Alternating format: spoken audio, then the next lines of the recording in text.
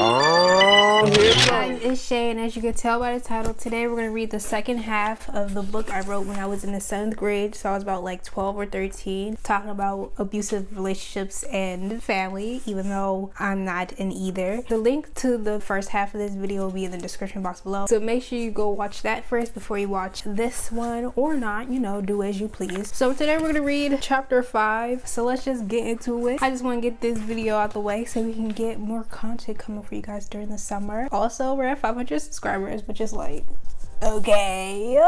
But yeah i'm also gonna film the part four for the high school story time sometime soon. So prepare to hopefully get spammed the content. We're gonna try to be on top of it this summer. Okay without further ado, let's get into chapter five. I'm gonna put my glasses on so I can actually see. Okay. Oh, she looks smart. She looks educated. Let's get into it. Okay. At school, I had to work 10 times harder to make people believe I'm a normal 17 year old. I can imagine the 10 year old doing the same thing at her school. Was she 10 this whole time? I don't remember. I had to plaster face smiles all day and pretend to laugh at the appropriate times, which is on brand with the cover page. Get into it. On brand. Also, this book is literally falling apart. Each time I open it, it's falling apart more and more. I don't think she has much left. Over the past 11 years, I've mastered the art of pretending. Today it was harder though. All day I was thinking about my mom and what her crazy plan was. If she really wanted the three of us to run away, it should have been a comma somewhere, but okay. After 11 years of abuse. Why am I putting these into...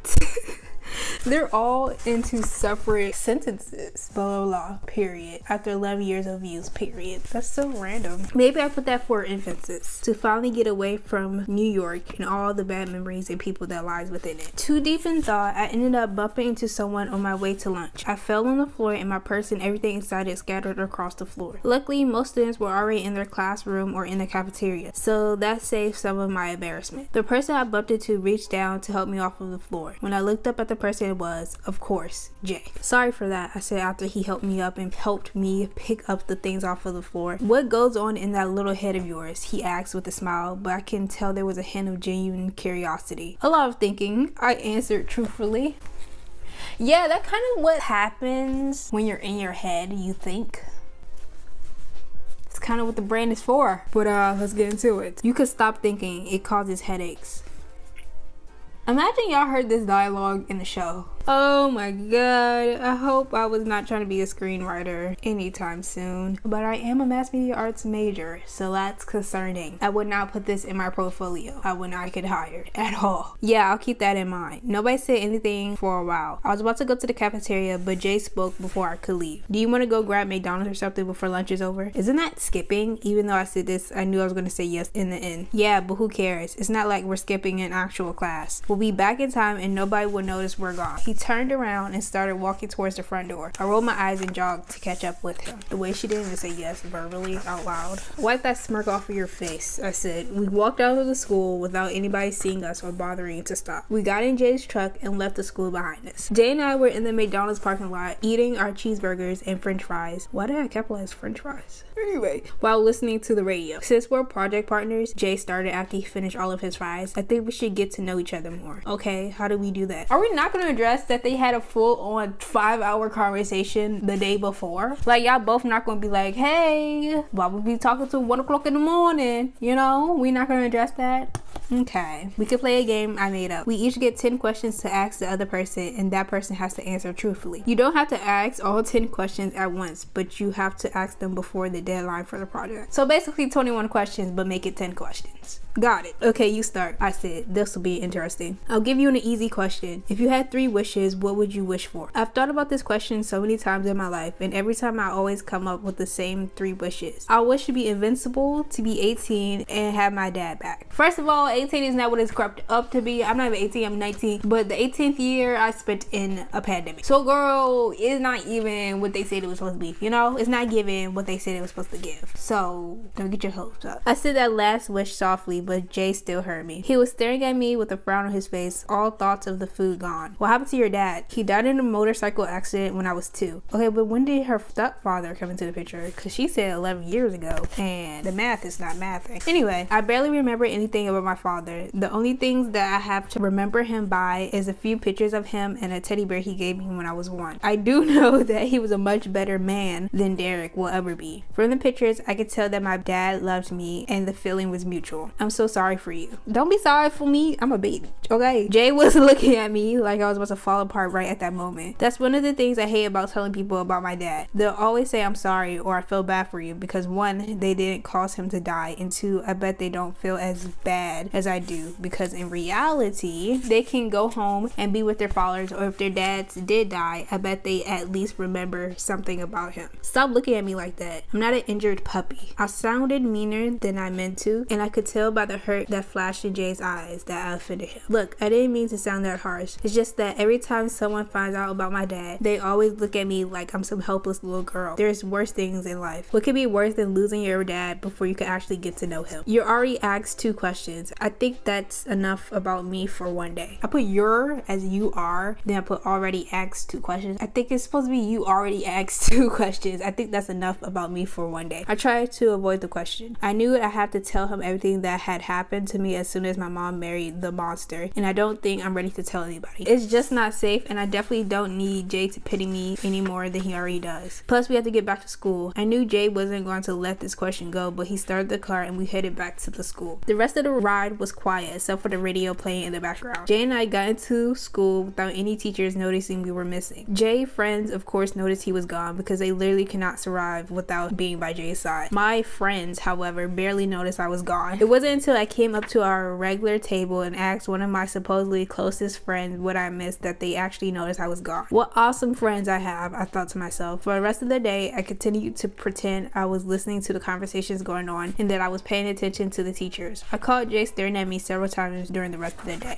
That's the end of chapter 5. Honestly, not too bad, not too bad. I need the plot to thicken a little bit, you know. We getting some character 101 development. We love that. Chapter 6. The school day was over and I was walking to go pick Olivia up from school. I was listening to music but only had one ear plugged in, just in case. Right, right. Because I don't trust, I don't trust listening to music while I'm walking. Because I need to keep an eye out for Selena, you know? I need to I need to know what's going on. So I don't listen to music often because I always feel like somebody's watching me or like, you know, making their moves, trying to catch me slipping. I was about to turn the corner to get to Olivia's school when out the corner out of my eye, I saw an unfamiliar car and it was following me. Every time I walked faster, it would speed up just a little bit, and every time I slowed down, it matched my speed. On instinct, I broke into a sprint towards the school. My earphones were getting caught up in my arms, so I tried to stuff them in my pocket while I was still running. This was before AirPods, baby. Okay, we had wires. As soon as I got to Olivia's school, I ran inside, not bothering to look back. Olivia was sitting on a small bench outside of the front office with the other car riders and walkers. Why are you out of breath? She asked when I got closer to where she was sitting. It's nothing for you to be worried about. I grabbed her hand and we walked to the front office door so I could sign her out. I looked over my shoulder towards the front door several times, hoping Derek wouldn't walk through it. After I signed Olivia out, I was about to call my mom to see if she could pick us up from the school instead of the library because I do not want to go back out there with a possible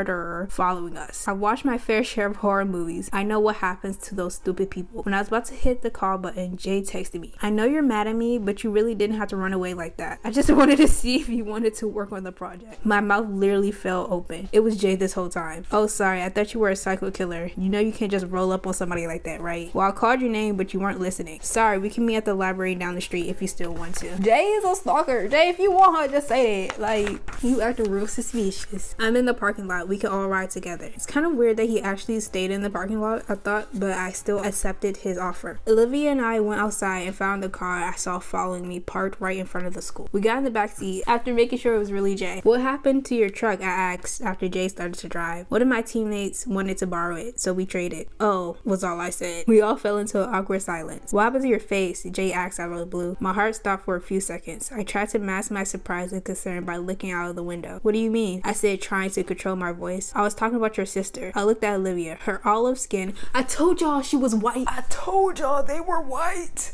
I told y'all. Her all it's always olive skin. I feel like I just googled different skin complexion and I saw olive. I just ran with it. Her olive skin had healing scars on her cheeks and a cut from her right eyebrow to her temple that looked like she just got it. I didn't notice it. It should have been I didn't notice it until that moment. I'll ask her about her later. She looked at me with a flash of fright in her eyes. Um, I fell, she said, stumbling on her lie. That was one pretty nasty fall, Jay said, obvious that he didn't believe the classic I fell lie. What about you? He asked, looked at me in the rearview mirror. What about me? I was pretty sure I covered up all my scars and bruises on my face with makeup. What happened to your arm? I looked down at my arms. There was one long belt welt on my left arm and some scratches on my right arm. I fell? I said more as a question than a statement. Try again. I sighed. Please don't make me tell you. I tried to communicate with him through my eyes in his rear view. Do I have to? I asked, trying to avoid answering the question. Truthfully, was all he said. At this point, that's three questions, baby. You asking a lot. Before I answered, we pulled into the library parking lot. I wanted to jump out of the car, but he didn't unlock the doors, and I knew if I tried to make a run for it, he'll eventually catch up to me. I had no choice. I was trapped. I had to face this head on. I looked Jay right in his eyes. There's worse things in life. And then I tell him everything. wow let's let's go back to the reference in chapter five shall we because that i feel like that was a little that was a little a little movie screenwriting writer of me you know? Wow I don't know why I feel so proud. But it's, it's very cliche. But honestly, I think it's beautiful. Anyway, chapter 7. Imagine Olivia in the background just like, Child, we ain't never done this before. What is this, honey? Chapter 7. During my storytelling, I started to cry. Not crying where I couldn't finish a sentence, but just little teardrops. When I glanced at Olivia, she was silently crying also. After about five minutes or so of ranting, I finished. Only five minutes, baby. Only five minutes of this whole story. Only five minutes. Okay. Nobody said anything. Jay had turned around in his seat and was staring speechless. I wiped my tears and waited for everybody to get their thoughts together. Even though I just told Jay, a person who I didn't talk to until a few days ago, my deepest, darkest secret, I felt a huge weight lifted off my shoulders. It feels like I could finally breathe. When I started talking about what happened, it was hard for me to stop at a certain point. It seemed like no matter where I stopped at, there would missing pieces in the puzzle. That's what I wrote.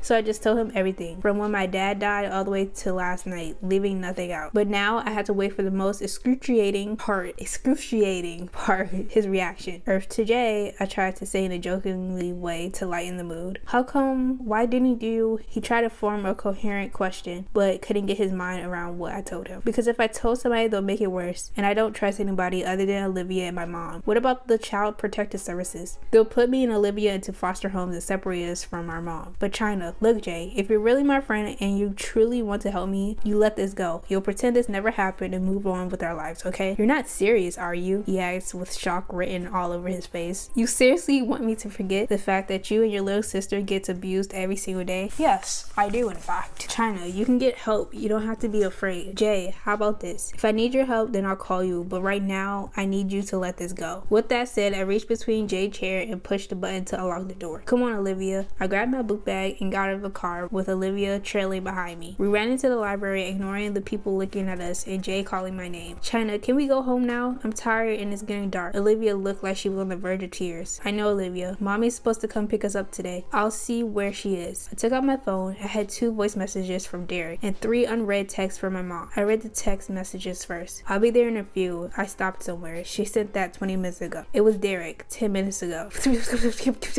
Seven minutes ago. what did she mean when she said it was Derek? And what did the last message mean? I started to get worried. She should have been here by now. I quickly opened my voicemail. China, I really need you to get home right now. I found out what your mom was planning. She knows I don't like surprises. Derek's voice sounded strain, strain, like he was trying to contain his anger for some reason. I listened to the second one. China, I really need you to get home as soon as possible. There's a situation and you need to come home. And then he said the three words that made all the color drain out of my face. I love you.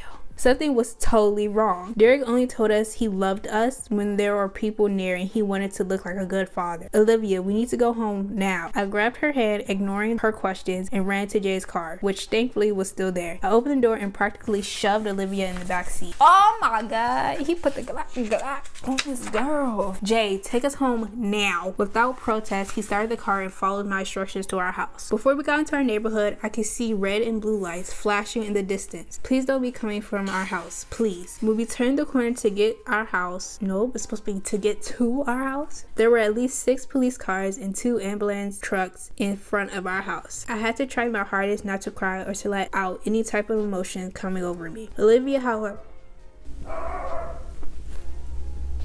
Okay, Olivia, however, did it. She started bawling her eyes out and banging on the door and screaming at Jay to open the door. Jay, shocked by the scene, stopped the car a few blocks from our actual house and unlocked the door. As soon as Olivia heard the click of the door unlocking, she slammed the door open and starting sprinting down the street towards the house. Jay and I jumped out of the car and chased Olivia, trying to get to her before she reached the scene below. Jay got to her before I did. He scooped her up and held her down to his chest, which prevented her from seeing what was happening and from her hitting and kicking him. I ran on past them towards the house. I put Ann short instead of A short. Chubby male officer who looked like he was in his mid 50s came up to me before I could get past the yellow tape that was on both sides of the house and stretched to the house across the street. Ma'am, I can't let you cross this tape. We're doing an investigation. I'm going to need you to back up, he said in his heavy southern accent. I live here. I understand, but if you're not an officer, then you can't get past this yellow tape. I started to get frustrated. Yellow tape, yellow tape.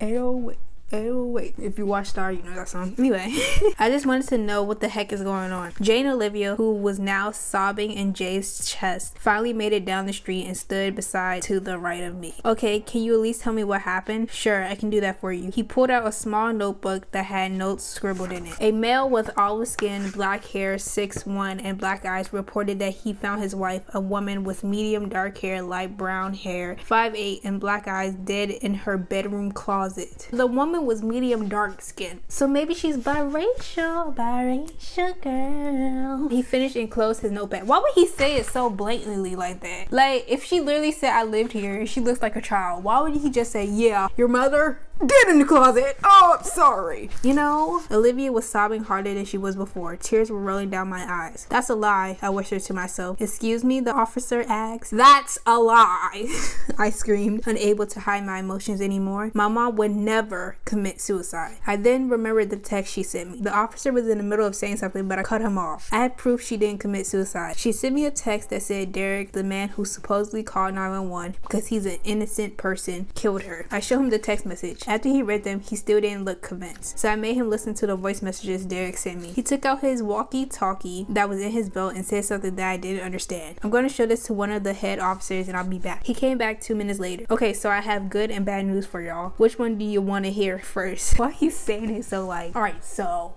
I know you said your mom literally did commit suicide, but I have good and bad news. Which one do you want to hear first? You know, it doesn't matter. Today already sucks. I doubt your good news won't change anything. I said more bitter than I meant to. Well, the good news is that Derek Guy is under arrest and his trial will be in about two months. That's probably the best news I heard all day because, of course, that's not going to last long. I thought to myself, the bad news is that you don't have a guardian, so you and what other siblings you have is going to have to go to a foster home. No! Olivia cried out. to kick Jay, but his grip was too strong. I don't think like once you get arrested, you immediately go to trial. Like I feel like that's not how it works, but maybe, maybe. I'm sorry for the inconvenience, but you have to be 18 or older to live by yourself. What if Jay is 18? He like, y'all can live with me. Okay, anyway, inconvenience. You call my mother being murdered and my stepdad going to freaking jail at inconvenience? Are you serious right now? I said in disbelief. He thinks living with people I don't know and possibly being separated from my sister, my only family now, an inconvenience. I'm sorry, was all he said. Then he walked away with his head hanging low. Without reacting the way I wanted to, I just turned away and walked back up the street towards the car, not caring about anything anymore. My life is over. I have no mother, no father, and my only sister might get separated. And to top it all off, there isn't a certainty that Derek will even be in jail for the rest of his life. I couldn't even make it all the way to the car. I just dropped in the middle of the road and started sobbing. I no longer care about being strong for Olivia or putting on an act so people can think my life is fine because it's not. I felt Jay sit down beside me. He didn't say anything. He just let me and Olivia cry our eyes out. After what felt like forever, we stopped crying. Why? What did I ever do to deserve this? I asked to myself. China, look at me. When I did, he continued, You're strong, okay? Everything might not be going all fine and dandy now, but eventually you and Olivia will be taking over this world, he said with a small smile on his face. Not a smirk, but a genuine smile. But I don't want to be strong anymore. I just want to be done with this. It's too much. Don't you dare dare say that? You're going to be 18 however long. Then you and Olivia can go do whatever you guys want. October 13th. What? That's when I turn 18. October 13th. China. What? That's today. What? It can't be the 13th already. Jay pulled out his phone and showed me the date and it said October 13th. I immediately jumped up. When? What? Jay chuckled at me. How can I forget my own birthday? A lot of thinking going on up there. Jay, we have to go. A light bulb going off. Go where? He asked, standing up and still carrying Olivia, who fell asleep from exhaustion. I don't know, but we can't stay here. If we stay, they're going to take Olivia and we can't let that happen. We have to go now. Without waiting for him, I ran to the car and got in the passenger side. He caught up to me and carefully put Olivia in the back seat and got in the driver's side. He started the car and we left the neighborhood. We didn't even know where we were going. We just kept driving until we left New York and everything within it, and we never returned. I'm sorry. um all right. I feel like realistically, would this ever happen in real life?